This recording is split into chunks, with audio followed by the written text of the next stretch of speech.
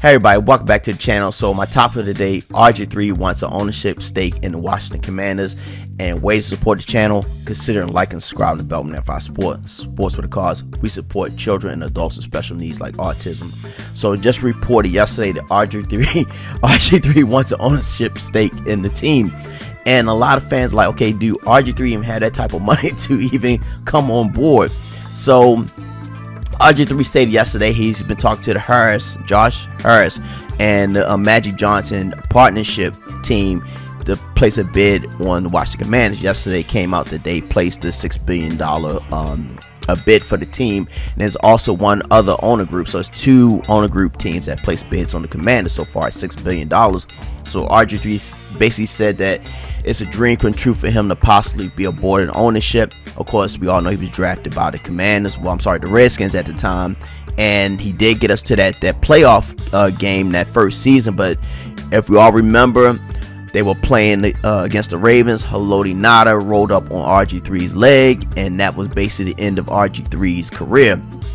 Now, for me, you know, I was a firefighter for 20 years, and one I didn't work that game, but my co-workers worked that game, and they were the ones that transported RG3 to the ER. I don't know if they went to PG um, Hospital Center and transported him. I think that's where they transported him there.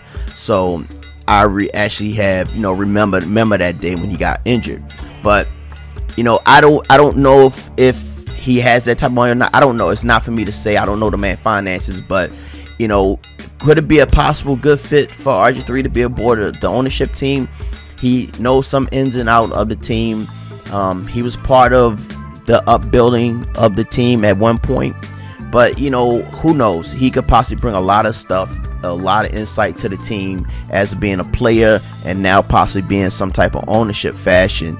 Um, we'll see that. Um, but it seems like the Harris and Johnson team will be actually the, the new owners.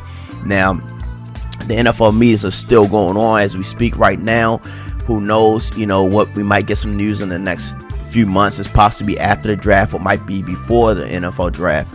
So who will who sees? But you also misstated that, you know, the fans here they're tired. It's been a long time full of nonsense with this team and ownership, and maybe after Dan Snyder is thrown out, or sorry, sells the team maybe DC will end up throwing a, um, a parade just, just to, to, get rid of him and start anew. You know, it's a possibility that the new ownership might get rid of the name.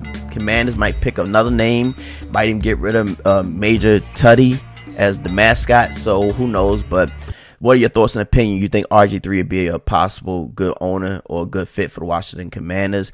So you guys be safe, take care of yourself, and don't forget to support Beltway 95 Sports. Thank you.